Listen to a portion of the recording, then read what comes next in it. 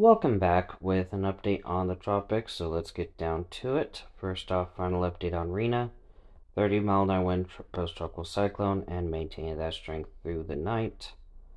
Um, just a little bit further north. Satellite imagery is not going to be a thing today because just getting other video uploaded and yeah, so we got cone models and winds. I think yeah, there's that. Um, and then we got Philippe with 50 mile an hour winds, still a potential threat for Antigua Barbuda, hence the tropical storm watches and warning, maybe warnings issued. But yeah, 50 mile an hour winds, 60, 60, 65, 75 hurricane, and an 85 at the end of the forecast. Again, satellite imagery is not loading. Cone, this will be thumbnail. Still got just tropical storm watches. Uh, we got models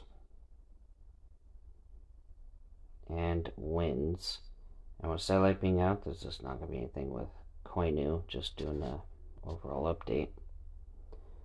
And depending on the size of this storm, there may be tropical storm watches issued for Bermuda or how far west this decides to go in the cone of well, cone of death, really.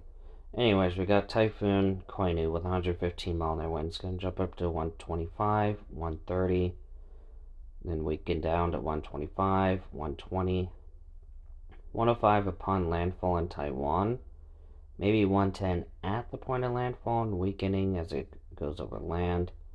Continue to weakening to 75 mile an hour wind typhoon as it approaches China. Maybe a tropical storm upon landfall unless it decides to re-strengthen. And again, satellite imagery is just out of it. So the Atlantic's dead outside of Philippe. And in the Pacific, uh, we got 80 to 90% chance for Invest 98E to form over the next week and a 40% chance for the other area of interest to form over the next week. So that's going to be something to watch. That thing's going to be a depression by morning. Anyway, stay safe out there. See you in the next video. Bye.